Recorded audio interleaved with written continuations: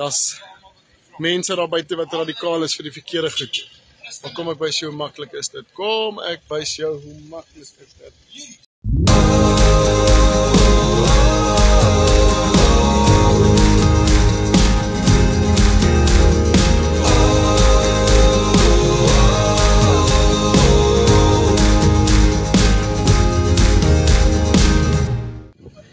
Ons ry hier uh op die highway Bronkhorstspruit en ons sien hierdie verskriklike gebou langs die pad en ons besluit ons as Christen, ons vat die kans. Ons draai in. En ons staan hier voor die moskee en uh al hierdie sement gooi hier agter ons en jy ry onder die mooiste muurtjies deur en goed wat geen krag het nie. Ek deel so 'n bietjie saam met jou. En jy vra altyd, weet jy wat, hoe werk dit? Um hoe hoe deel ons die evangelie? Hoe kan ek uitgaan en 'n verskil maak? Dis hoe jy 'n verskil maak. Kom en versprei die woord van Jesus. Dit is so maklik soos dit. Kom ek wys julle so 'n bietjie um hoe dit lyk en dan bid julle saam met ons. Ons vat hierdie grondgebied in die naam van Jesus. Ons kom vat dit. Kom ek deel so 'n bietjie met julle hier in ons land. Hier in ons land, in ons liewe Suid-Afrika, op 80 of wat kilos hier buitekant Pretoria.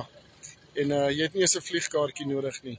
Jy het net 'n ou traktaatjie nodig. Nou kom ek wys so 'n bietjie met julle um hoe ons te werk gaan hierso en bid saam met ons en spreek die naam van Jesus hier en ons kom vat dit ons kom vat grondgebied in die naam van Jesus. Maar kom ek wys julle gou 'n bietjie. Dan loop daar saam met my en uh hier in ons mooi Suid-Afrika wat ons 'n Christelike land noem en jy wat in die kerkbanke warm sit. Kom ek wys vir jou. Das mense daar buite wat radikaal is vir die verkeerde goed. Maar kom ek wys jou hoe maklik is dit. Kom ek wys jou hoe maklik is dit. Jy gesien daai papiertjie? Dis 'n traktaatjie. En uh kyk net hoe lekker sien mense dit. En jy kan dit by jou petrolstasie, by jou dorp, by jou tikhuis dieselfde doen. En uh ja, so jy vra altyd hoe kan ek te werk gaan? Kyk hoe opvallig is dit.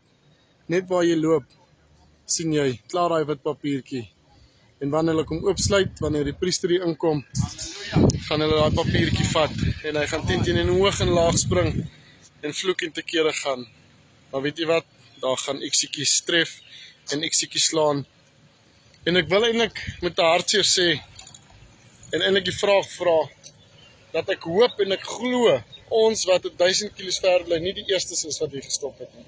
Dat die kerk al kom uitreik het en dat jy wat jouself 'n Christen noem en in hierdie omtrek bly, glo ek jy het nog gekom en jy het hierdie gebied geklim. En vandag kom klim ek net saam met jou daar en ek sê vra jou, spreek saam met my. Here, ons kom vat hierdie grondgebied in die naam van Jesus. Kom verander elke draak in 'n kruis wat Jesus verteenwoordig.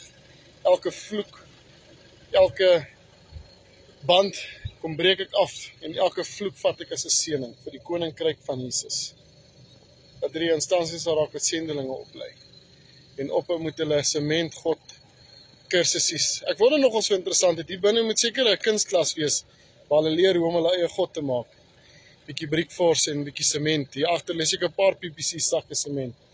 Nou ek wil jou sê jou God word nie uit PPC uitgemaak nie. Hy's uit vlees en bloed gemaak. Hy het op hierdie aarde geloop vir my en jou. Bloed het deur sy are geloop, net soos by my en jou. Kom ons gaan, kom ons gaan maak 'n verskil. Soos ek sê, hierdie is in ons mooi Suid-Afrika. Dit nie 'n vliegtuigkaartjie gekos nie. En jy kan iemand bereik. Kom ons gaan uit. Kom ons deel die evangelie. Dis lekker, dis maklik en dis jy moet te werk. Nou Here, ek kom en ek kom spreek dood oor hierdie werke en ek kom klim nou soos ek die eerste stap op hierdie trap vat.